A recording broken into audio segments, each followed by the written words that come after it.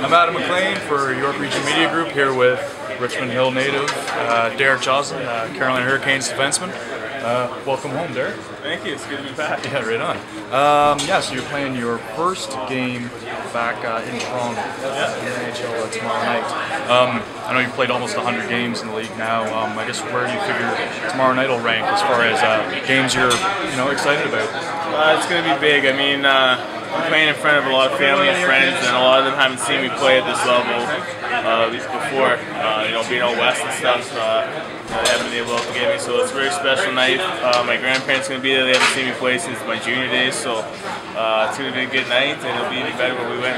Nice. Uh, I know you've been in town, I guess, for a couple days now already. Have you had a chance to go back to Richmond Hill and uh, have a home cooked meal uh, from your folks or anything like that? Uh, unfortunately, with our schedule, we had a 3 o'clock practice yesterday, so I wasn't able to make it down. But my family came down here to uh, come out for some dinner, and we got to catch up and exchange some Christmas presents and stuff. So nice. it's always nice to, to see them, and obviously I got some friends in town as well, so it's been good. Yeah, it must be nice. I guess during the season you don't really get a chance to do that an awful lot, eh? No, no, not at all. So it's nice to you know be back to a familiar area and uh, obviously play at this level. It's a dream come true. And uh, I know this season the, the team, as far as the standings go, things could be a little bit better.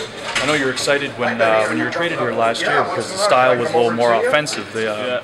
You know, we're kind of looking for the defenseman to pinch in a little bit more. Uh, since the coaching change, has the style of play changed uh, a little bit, or does uh, is Coach Muller similar to uh, Maurice as far as uh, that style? Similar. Obviously, there's some system changes, but we still want to be a fast team and want to be a you know offensive team. And uh, you know, we got some young legs in the lineup that you know have a lot of speed. And uh, you know, it's still the same style. It Hasn't changed my game at all. I just go out and uh, try and do my best in both ends of the rink, and you know, it's been it's been fun.